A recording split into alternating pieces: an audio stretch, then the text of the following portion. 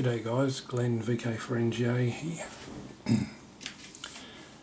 Just want to show you on the ID4100 or any ICOM, any modern ICOM D-Star radio how to enter any reflector, particularly the X reflectors, into the memory. Now normally you would um, you would put it into the uh, reflector memory but you can only put REF reflectors in there. So this way this method you can put any reflector in and you don't have to do it via software. You can do it manually. So from any place in the radio you just want to push the button up here. Doesn't matter where the radio is set and you want to go to DV memory. There it is there. Press this fella. And you got your call sign or repeater list so go to your call sign and there's all the reflectors in there.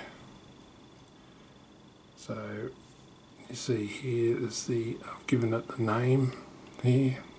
This one is XLX299D which is New Zealand DMR and the command for it or the call sign is DCS299DL so we want to add a reflector so we come over to the quick menu press that and you've got add edit move delete.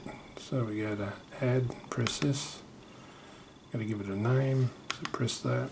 And then we just rotate this to give it a name. So we're going to put in an X reflector. So we'll X arrows here. So arrow across.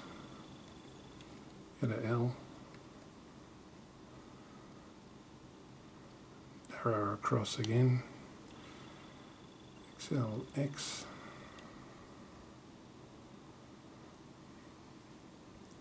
we'll put in say we'll put in 925 9 2 5 and we'll call it XLX925S so I come down to S and press it a couple of times for space and we'll call that UK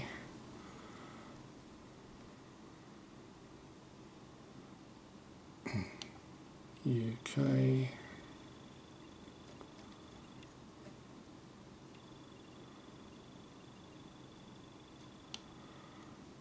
press it again for space uh, we'll call that we're just making this one up so we'll call it UK DMR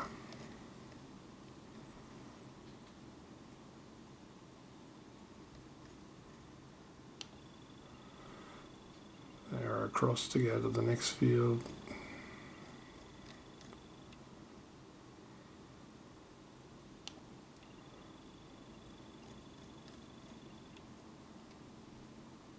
Okay, so XLX95S UK DMR. Press that again and again. so it's given it a name. Now the call sign, press that. So we want to call it uh, XLX reflectors. Uh, the command line or the call sign for those is DCS. So whatever the XLX is, it's replaced by DCS for the command, for the link command. So we'll go to D.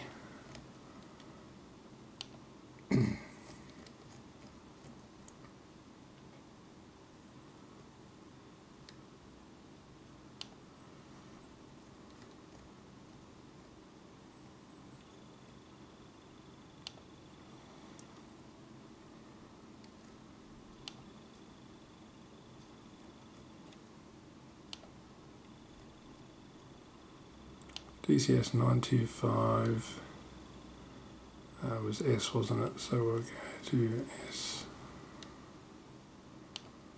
And then L, L on the end.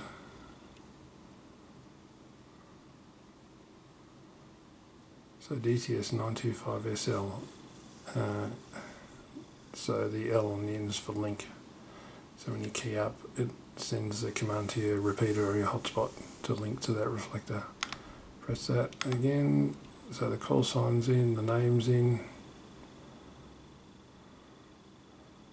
And then it's down to the bottom add right.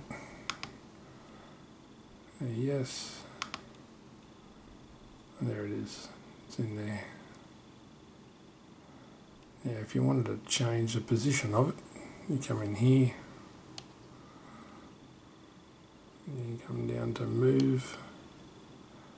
And then no didn't work. Try again.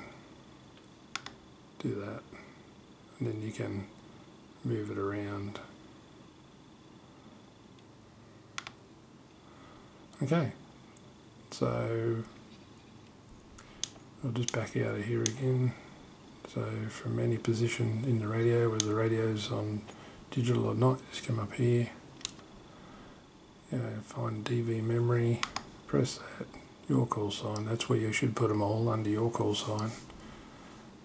And uh, these are reflectors not repeaters so real call sign and there they all are there. I got about 40 odd in this radio. It's an ID 4100 but you can do it on uh, the ID 5100 the ID 51 handheld transceiver. They're all run the same sorts of, sort of menus. So hopefully that was helpful to you thanks for watching. This is VK4NGA